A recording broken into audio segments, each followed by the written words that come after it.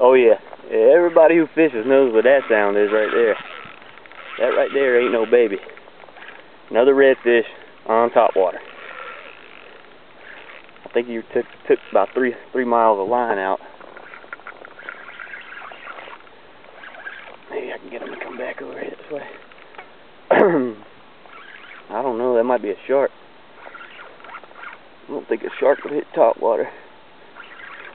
About a eight foot hammerhead with a with a black spot on his tail. Oh,